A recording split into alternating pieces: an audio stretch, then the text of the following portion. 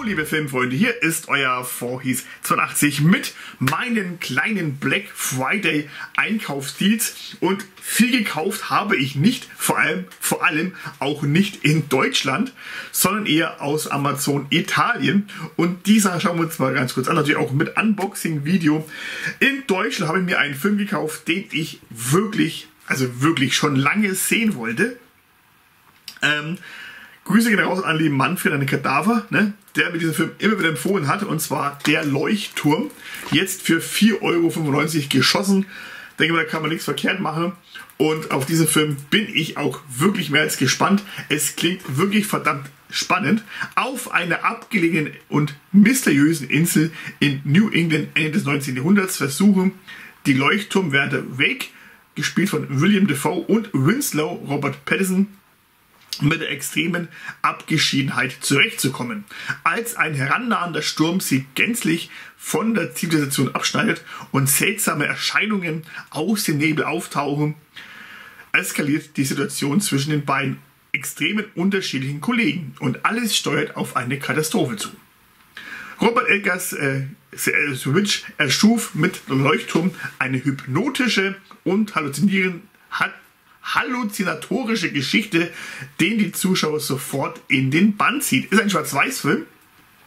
Also bin wirklich mehr als gespannt. Wir machen mal die Folie runter. Und ähm, ja, mal schauen, was mich bei diesem Film erwartet. Also der liebe Kadaver wird sich viele kaputt lachen, wenn er eben hier das Video wahrscheinlich sieht. Aber ich freue mich trotzdem auf diesen Film. Hier ist er auch. Und einmal hier eben dann die Innenseite. Und ja, das war wie schon mal mein aller einziger Kauf in Deutschland. Und dann gab es noch ein bisschen was weiteres aus Amazon Italien, nämlich einmal, ja, Wonka und die Schokoladenfabrik in der 4K Steelbook und einmal ein Film und zwar 2001 Odyssey im Weltall, jetzt nochmal in der Vault Edition. Ich habe diesen Film ja schon mal angeguckt und muss wirklich sagen, ich komme an diesen Film nicht dran. Ich versuche es jetzt nochmal ein drittes Mal.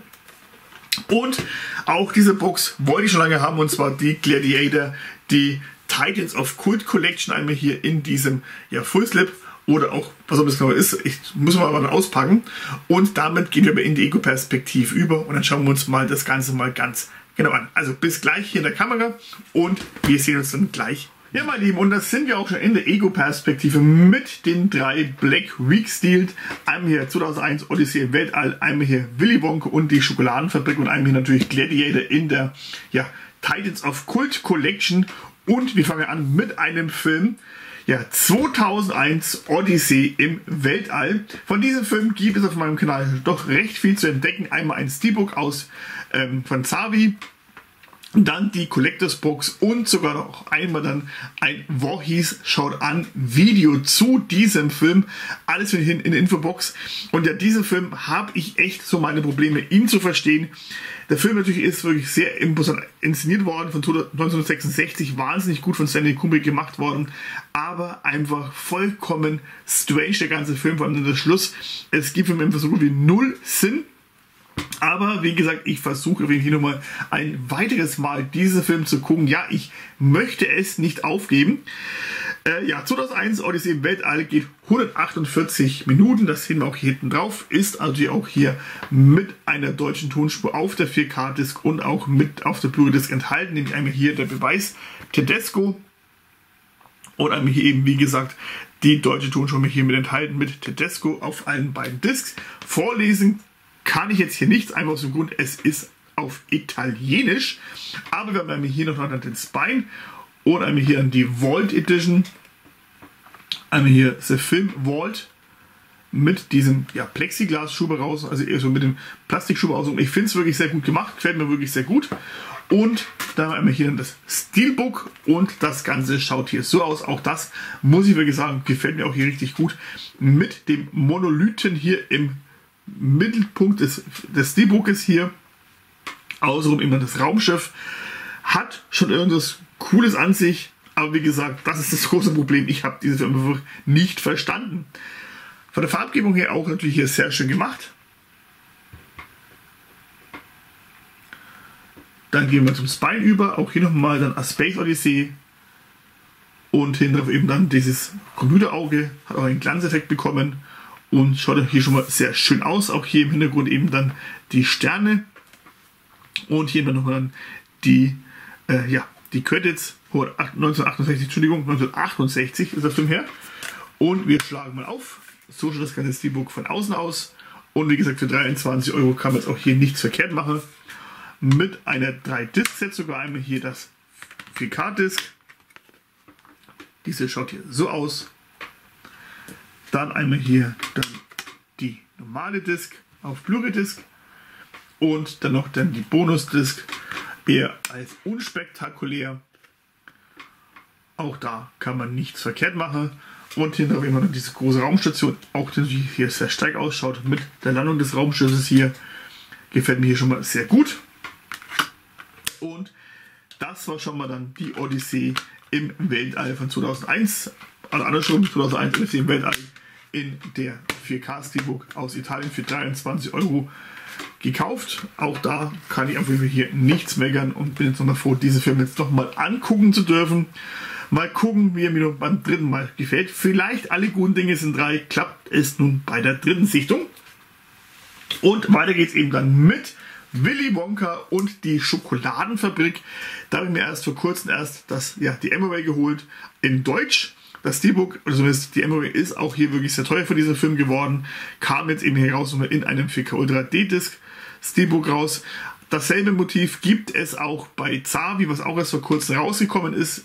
Wollte ich abbestellen, ging aber leider nicht, ist schon verschickt worden, sehr ärgerlich, denn das Steelbook kostet gerade mal bei Italien, hat gerade mal bei Italien 13 Euro gekostet. Deswegen habe ich es mir geholt. Auch da kann man vom Preis nicht meckern. Einzige Kritik, die wir hier haben, auf der 4K-Disc haben wir hier leider keine deutsch, deutsche Tonspur mit dabei. Sehr schade. Wir drehen mal ganz kurz rum. Hier sieht man es auch das sehr deutlich. Blu-ray-Disc haben wir eben hier äh, Tedesco mit 1.0, aber auf der 4K-Disc ist da eben nicht zu finden, dass eine, eine deutsche Tonspur mit dabei ist und ist auch bei Blu-ray-Disc auch so bestätigt worden, dass eben auf der deutschen Blu-ray-Disc, auf der 4K-Disc eben keine deutsche Tonspur mit dabei ist. Einmal das Steelbook. Wir machen mal die Folie runter und dann schauen wir uns mal das an. Ist auch schon unten. Und wir machen dann auch hier mal die Banderole runter, die auch hier festgeklebt wurde. Einmal hier abgegangen und einmal hier vorne. Lässt sich auch ganz gut ablösen. Und so viel schon mal zu der Banderole. Auf Italienisch natürlich ist klar. Und geht 99 Minuten. Und jetzt schauen wir uns noch das Steelbook an. Und das muss ich wirklich sagen, schaut hier wirklich sehr schön aus. Natürlich auch hier passt natürlich zum Alter her in weiß gehalten. Auch der Schriftzug, hier, das seht, ist einem, hat einen Glanzeffekt bekommen. Und hier dann die wichtigsten Charaktere aus dem Film. So schaut das Ganze aus. Dann haben wir hier den Spine, Willy Wonka und die Chocolate Factory. Und hinter auch das natürlich auch hier sehr schön gemacht. Wie ich persönlich finde, schaut hier schon mal sehr schön aus. Und hier nochmal das komplette Steelbook von außen. Und muss wirklich sagen, richtig schön gemacht. Innen drin schaut das Ganze jetzt so aus. Hier mit dem goldenen Ticket. Dann einmal hier die 4K-Disc. Und einmal hier dann die Blu-ray-Disc. Und hier die ganzen Süßigkeiten mit, wie gesagt, dem goldenen Ticket für die Willy Wonka Fabrik. Schön gemacht auf jeden Fall auch das Steelbook und wie gesagt, ähm, besten mal gucken, in Italien gibt es das Steelbook noch kostengünstig, nicht wie bei, bei Zavi. Ich hoffe, ich kann es wieder zurückschicken. Ja, so wie schon mal zu dem nächsten Teil und jetzt kommen wir noch zu dem Hauptattraktion, nämlich hier nämlich Gladiator in der ja, Titans of Cult Collection. Da gab es noch eine größere Box, die gab es auch im Angebot bei, bei Italien, aber da ich mir, nee, die brauche ich jetzt nicht, lange die ganz normale. Und wir machen auch hier auch, das ist auch meine allererste Titans of Cult Collection, gebe ich zu. Ähm, ist es auch keine Serie, die ich auch unbedingt sammeln möchte, weil es gibt auch immer einfach immer wieder dieselben Filme, aber bei Gladiator muss er jetzt zuschlagen, weil ich einfach auch dies, den Film einfach mega finde. Und mal gucken, ob ich den runterbekomme. Natürlich nicht, aber wir machen es einfach mal wie ein Grobmotoriker. Einfach mal runterreißen und sieht da, es hat auch funktioniert. Und auch hier haben wir einen Hochglanz, hier ist eine kleine Kerbung drin, aber auch damit kann jetzt leben. Einmal hier natürlich dann der, die Maske von Gladiator, die er hier das erste Mal aufsetzt in, im Kolosseum. Hat einen Glanzeffekt bekommen, ohne weil den Schriftzug wie Gladiator hätte natürlich auch hier gut gepasst. Dann haben wir hier dann der Schriftzug Gladiator auch hier mit einem Glanzeffekt bekommen und auch hier geht die Maske auch hier außen rum noch. Hier nochmal das Logo Titans of Cult Collection, 3 Disc Set. Und hier noch eine andere Seite nochmal hier mit Gladiator. Und hier unten haben wir eben dann die ja, in Inhaltsangabe, was alles enthalten ist von dieser Film, die Titans of Cult Collection includes 4K Steelbook, Steelbook Case, Kult Stand und dann einmal ein Pin von Maximus Helm. Ja, schauen wir einfach mal rein. Und hier an die Rückseite noch auf, natürlich auch auf Italienisch. Aber auch hier haben wir auf 4K-Disc und auch auf der Blu-ray-Disc eben eine deutsche Tonspur. Deshalb ist mir auch geholt. Einmal hier eben Detesco und auch hier ebenfalls auf Blu-ray-Disc ebenfalls. Also auch hier alles schön gemacht. Auch hier haben wir einen Klebepopel außenrum. Aber ich glaube,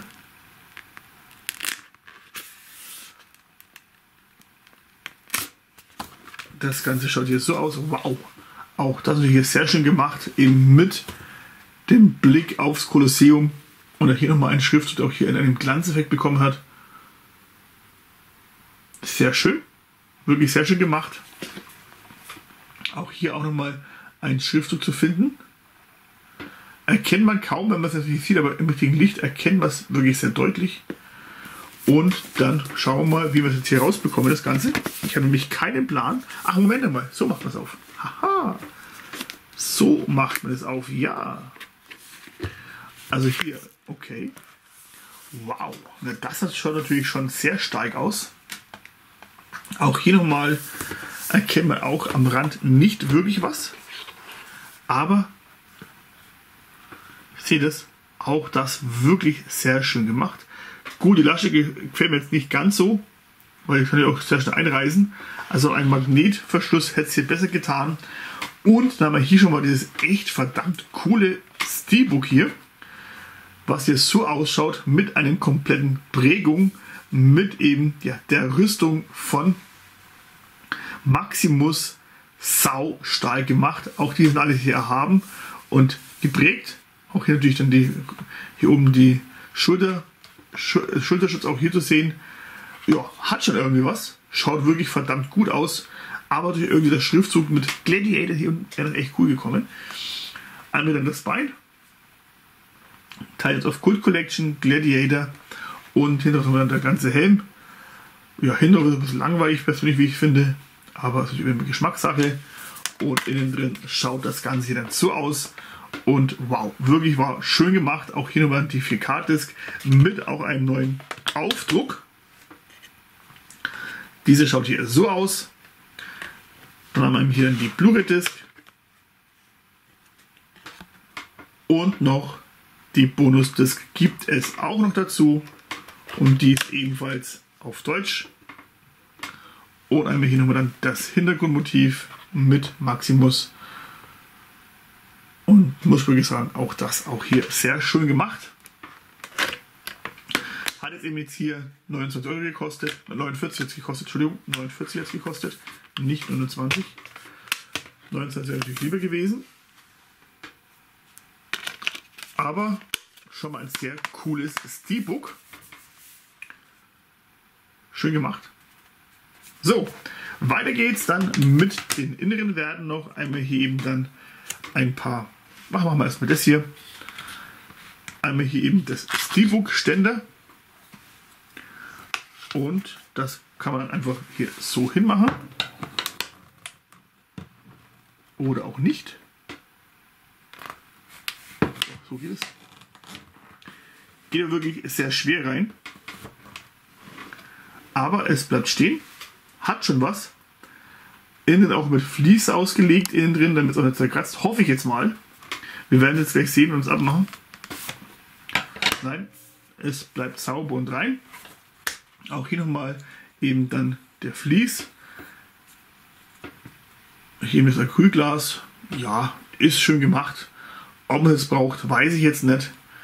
Aber jeden Fall schöne Sache zum Hinstellen für das. Und aber eben hier noch dann der Helm von Maximus. Den ziehen wir jetzt hier aus Metall. Hier die Pinnnadel. Und innen drin, ja, das war es auch schon mit dem Ganzen. Mehr ist es nicht geworden. Hätte ein bisschen mehr sein können.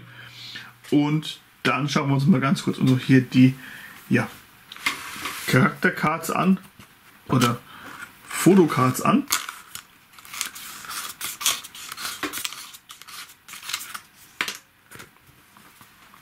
Auch hier ein paar, ja, ich sehe schon, was es ist. Und zwar Behind-the-Scenes-Fotos sehr stark mit den Löwen, also mit den Tigern. Also die gab es, ist also doch nicht realistisch. Sehr cool gemacht, auch hier mit den Attrappen. Cool. Sowas sieht man eher dann doch selten. Also auch die hier waren sogar in echt. Diese Tiger wurden nachgestellt.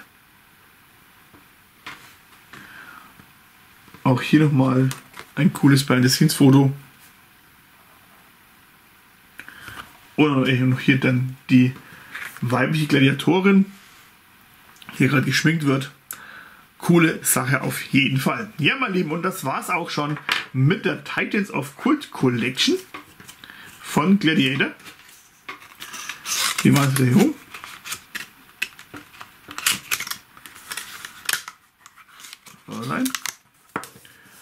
Und damit sind wir auch schon am Ende von diesem Video. Und was sagt ihr denn nun zu den ganzen Editionen von mir, wo ich mir geholt habe? Welches euer Favorit? Also hier, das ist natürlich eine Verhaltung etwas blöd. Einmal hier die Gladiator Box 2001 Odyssey im Weltall oder eben wie gesagt noch Willy Wonka und die Schokoladenfabrik. Alles beide schöne Teile und ja, für den Preis kann man hier nicht meckern. Insgesamt habe ich habe ich aber 90 Euro dafür, glaube ich, gezahlt. Ist voll und ganz okay. Und ja, was ihr dazu? Gerne Kommentare reinschreiben und dann sehen wir uns mal ganz kurz zurück im Hauptschirm. Bis gleich. Ja, meine Lieben, und das war's auch schon mit meinen Black Week Steals. Und wie gesagt, einmal hier, ja, der Leuchtturm mit Willem Dafoe und mit Robert Pattinson in der Hauptrolle. Auf diesen Film bin ich mehr als gespannt. Und einmal hier Willy Wonka und die Schokoladenfabrik. Ähm, ähnlich auch im Steelbook. Ja, leider bekomme ich es jetzt nochmal, weil es nicht storniert werden konnte. Das andere Steelbook von Zavi. Ähm, mal gucken, ob ich es behalten werde. Schönes Teil auf jeden Fall und für 13 Euro kann man bei diesem Steelbook hier nichts verkehrt machen. Dann ein Film, den ich nochmal ja, eine Chance geben werde, nämlich hier 2001 Odyssey im Weltall. Zum dritten Mal nun in meiner Sammlung in einer weiteren Edition. Und mal gucken, ob es nun beim dritten Mal jetzt endlich klappt, dass mir dieser Film auch wirklich so gefällt und ihn als Meisterwerk betiteln kann, wie alle anderen auch. Und natürlich ein Meisterwerk, das ihr mir angucken kann, das ich hier im Gladiator in der Titans of Cult Collection äh, muss wirklich sagen, schöne Box. Ja, die Haltung ist ein bisschen komisch hier, aber muss echt sagen, finde ich schön gemacht. Ja, mein Lieben, was habt ihr euch denn in den Black Weeks geholt? Habt ihr euch ein paar Angebote mitgenommen oder habt einfach das mal links liegen lassen? Ich muss wirklich sagen, ich habe gar nicht mal so viel geguckt. Ich hätte natürlich noch viel mehr einladen können, aber ich habe es mich, ich habe mich zurückgehalten. Und ja, Schreibt in die Kommentare rein, was ihr euch geholt habt bei den Black Weeks. Und dann sehen wir uns beim nächsten Video wieder. Bleibt bis dahin schön gesund. Tschüss mit Ö und Piep.